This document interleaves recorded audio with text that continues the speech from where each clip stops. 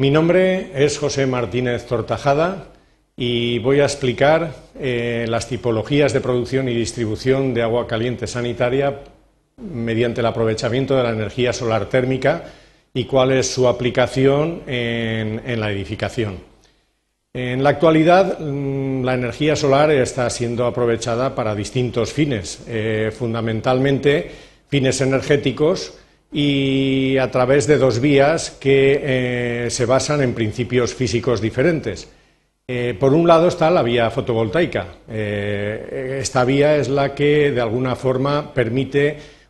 aprovechar la energía solar y transformarla en energía eléctrica mediante las llamadas células solares o células fotovoltaicas. Existe también, por otro lado, la vía térmica, que es en la que nos vamos a centrar. Y estos sistemas son los que mm, transforman la energía solar eh, mm, mm, pasándola a energía calorífica. Eh, habitualmente se suele dividir eh, a estos sistemas de aprovechamiento de energía solar en dos grandes grupos. un primer grupo sería la utilización de la energía solar a, media y baja temperatura y el, otro, gran sistema en la vía térmica sería la utilización de la energía solar eh, a alta temperatura. A, alta temperatura. los que realmente ofrecen más posibilidades, por lo menos en edificación, aplicadas eh, en, instalaciones de tipo doméstico, pues son sobre todo los sistemas de aprovechamiento a baja y media temperatura, concretamente eh, para la producción de agua caliente sanitaria, para calefacción, climatización, incluso calentamiento de piscinas u otros usos. Eh, en edificación, la aplicación de los sistemas de aprovechamiento de la energía solar a baja y media temperatura consiste en la gran cantidad de los casos aplicados eh, en implantar instalaciones centralizadas en edificios para la producción y distribución del agua caliente mediante empleo de lo que son los colectores solares planos que trabajan a esta media o baja temperatura. Vamos a ver una clasificación de las distintas tipologías de estos sistemas básicamente que se basan en, el aprovechamiento de la energía solar para producir agua caliente. Y, mm, como digo, mm, las tres tipologías fundamentales son, en primer lugar, la de circulación natural simple, que sería la más elemental, otra tipología sería la tipología de circulación natural, pero con intercambiador,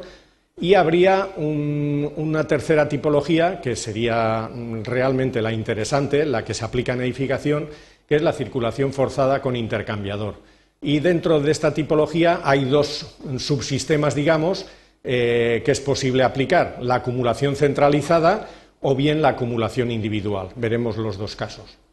Eh, estudiamos en primer lugar el sistema de circulación natural simple, el cual está basado en el efecto de transmisión de calor por convección o efecto termosifón. Eh, este sistema realmente nos emplea prácticamente en la actualidad. Sería un sistema natural, superecológico y que, mm, bueno, eh, sería tal vez o tendría dificultades de aplicación por el siguiente motivo. La condición sería, para que actuara el efecto convectivo termosifón que hubiera una diferencia de altura entre 60 centímetros y 3 o 4 metros entre la parte más baja del acumulador y la parte superior del captador solar, lo cual implica que el acumulador debe estar por arriba del captador, lo cual constructivamente es difícil, es complicado en edificación porque los colectores están en la parte más alta de la azotea y eso implicaría que el acumulador debería estar por arriba, en un casetón o en una estructura eh, construida por arriba de los captadores, lo cual es, incómodo y poco, útil. Eh, también, al ser una circulación por, termosifón natural, tendría que tener los,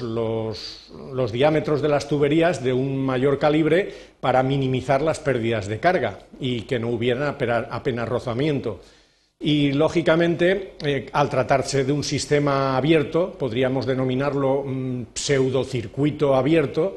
pues realmente el agua que circula por el circuito de colectores es el agua de consumo que entra en el acumulador y circula a su vez por el circuito de colectores, con lo cual siempre hay un riesgo de que se produzca eh, una contaminación o que aparezca la legionelosis. En definitiva, los condicionantes fundamentales son que en este caso, en esta tipología, el acumulador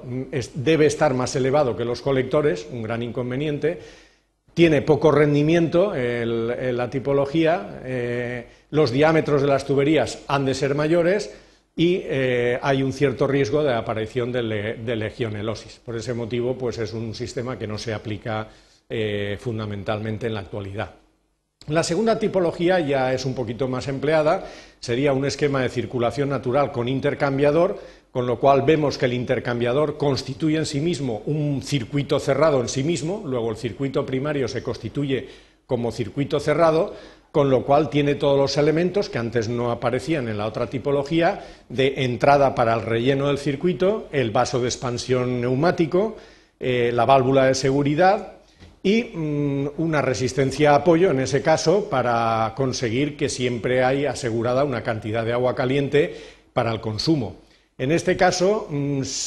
como es una circulación natural, sigue manteniéndose la condición de que el depósito debe estar por arriba del acumulador con una distancia comprendida entre 60 y 3 o 4 metros para que se produzca este efecto de convección o termosifón, lo cual sigue siendo un inconveniente. Pero ha aparecido el riesgo de legionelosis y las dimensiones de las tuberías pues simplemente han de ser mayores en el primario para que funcione de forma natural. Con lo cual, eh, los condicionantes simplemente son que el acumulador debe ser más elevado que los colectores y que el diámetro de las tuberías del circuito primario deben ser mayores, ¿eh? pero ya aparecen los otros dos condicionantes. De aquí pasaríamos pues a analizar la tercera tipología, que sería la de mayor aplicación hoy en día en todas las instalaciones,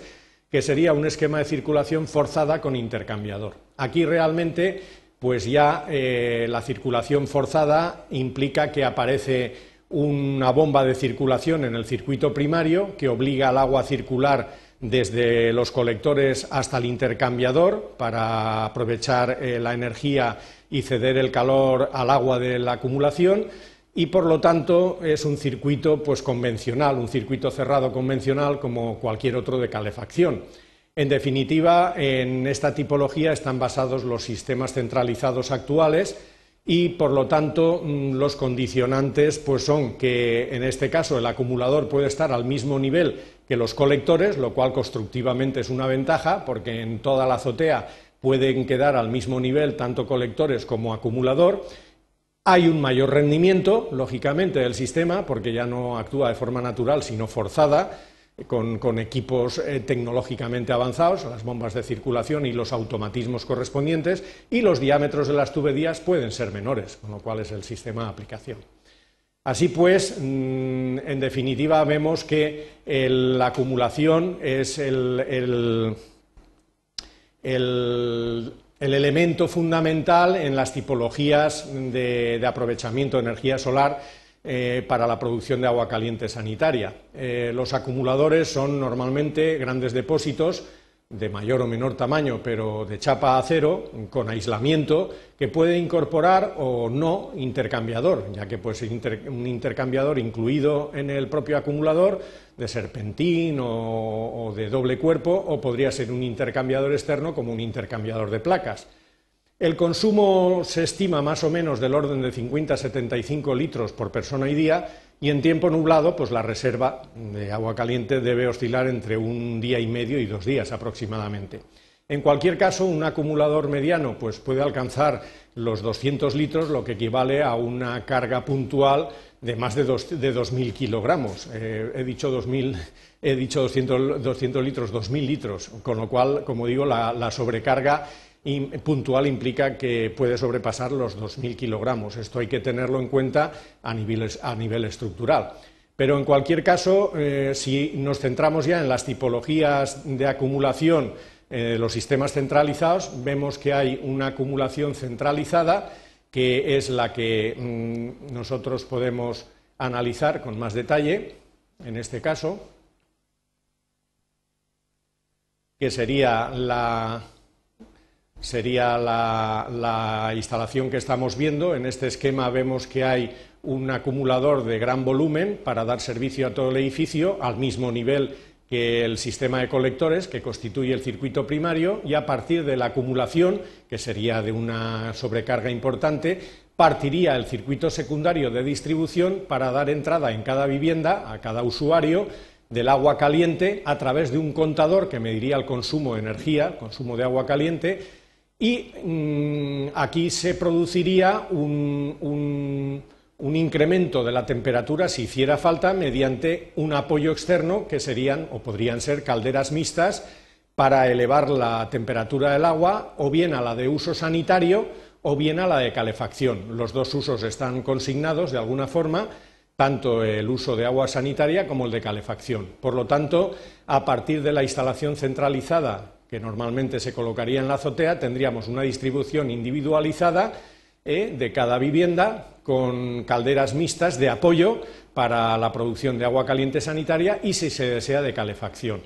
Eh, en la otra tipología, que es individual, lo que se consigue eh, son acumuladores individuales en cada vivienda. Ha desaparecido el acumulador central que daba servicio a todo el edificio, con lo cual no hay sobrecarga, pero ahora es un gran circuito primario de distribución que lo que hace es procurar agua caliente en cada vivienda con un pequeño acumulador del orden de 200 litros, 150, 200 litros, pero manteniendo a partir de aquí eh, la energía de apoyo con una caldera mixta convencional para la producción de agua caliente sanitaria y de calefacción en cada vivienda. Con lo cual tenemos estas dos tipologías. Aquí, al ser individual, individualizado el consumo con pequeños acumuladores, pues cada usuario dispone a su conveniencia del uso que requiera y no se tiene que, imponer un acumulador central con el mantenimiento que eso implica y con algunos inconvenientes que pueden aparecer en ese sentido.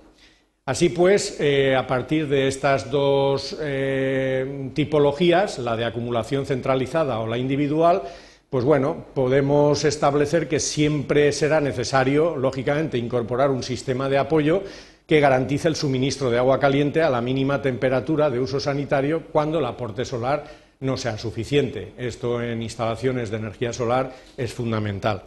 A partir de aquí, pues bueno, las conclusiones eh, serían que cualquier buena instalación que se pretenda, pues depende, en primer lugar, del diseño realizado en función de las necesidades estudiadas, de las características de los equipos y materiales y cómo se coloquen en función de su tipología elegida, los condicionantes relativos al entorno, tanto urbanísticos como de situación, del correcto montaje y del mantenimiento que sea lo más sencillo posible, porque son instalaciones con un cierto grado de complejidad y cuanto más fáciles sean de mantener y de usar, mejor. El técnico, de cualquier manera, debe conocer todos los aspectos técnicos de la instalación, debe definir los elementos que la integran eh, y sus condicionantes y supervisar la ejecución y corregir posibles desviaciones. Un buen diseño, en definitiva, implica elegir la tipología conveniente y adecuada al tipo de edificio, en función de su uso, lógicamente, y características urbanísticas, constructivas y ambientales. Por ello, bueno, además de ser obligatorio hoy en día mm, con el documento del código técnico y bajo la perspectiva de la sostenibilidad y ahorro energético tan importante en, estos momentos de, ámbito de, de ahorro energético, es necesario considerar la energía solar para la producción de agua caliente sanitaria como una energía alternativa, limpia y de ahorro de otras posibles que son más costosas.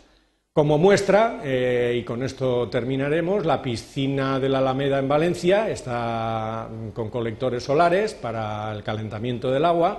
En un edificio de viviendas de Játiva, eh, como botón de muestra vale también, como aparecen en la azotea estos colectores para producción de agua caliente.